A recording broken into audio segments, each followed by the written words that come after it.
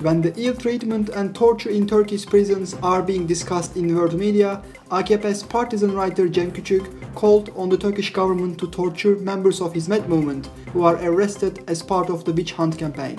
Kardeşim başka türlü konuşulma teknikleri de var. Evet. Sallandır ayağından camdan aşağıya. Küçük described some torture methods as a suggestion. Bak sana bir tane Mossad tekniği anlatayım. Cem Küçük suggested AKP to use Israeli intelligence service Mossad's techniques to make arrested members of Hizmet movement speak. Küçük said, swing them from their legs out of a window. There is a towel technique. They put a towel on the face and pour water from up to down. They let him drown. You can try lots of other techniques. Ya bir sürü şey denersin ya.